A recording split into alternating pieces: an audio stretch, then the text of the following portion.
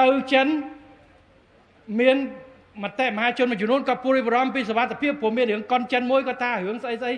អសវត្ថភាពកំពង់សោមចឹងគេភ័យដល់ក្រុមហ៊ុនវិនិយោគទៅនេះគាត់ឡើងនិយាយគាត់ថាអត់ទេគាត់ធ្វើការនៅនឹងរាល់ថ្ងៃបុគ្គលិកគាត់មកពីចិនក៏មានខ្មែរមិនអត់មានពីណាភ័យផងហ្នឹងហើយគាត់ទៅប្រាប់គេទៀតចឹងសូមអរគុណណាស់ចំពោះជំនឿទុកចិត្តហើយអរគុណណាស់ចំពោះការបន្ត ជួយយកអាសានឹងបន្តបង្កើតការងារនិងផ្ដល់ការយកចិត្តទុកដាក់ទៅលើបាទជីវភាពរស់នៅនិងសុវត្ថិភាពការងារនិងបរិស្ថានការងារជូនបងប្អូនសូមបន្តជឿទុកចិត្តនិងបន្តពង្រីកការវិនិយោគបន្ថែមទៀតរដ្ឋាភិបាលដែលខិតខំហើយសូមជួយទៅតាក់មួយមកថែមទៀតបាទព្រោះចង្ការរដ្ឋាភិបាលតាក់មួយមួយហើយប៉ុន្តែបើវិស័យឯកជនគ្នាឯងទៅតាក់មួយដូចខ្ញុំនិយាយចឹង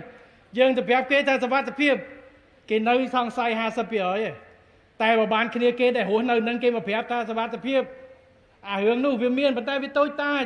អារឿងនេះសវត្ថិភាពទូទៅកតនាអីបាន គេមកច្រើន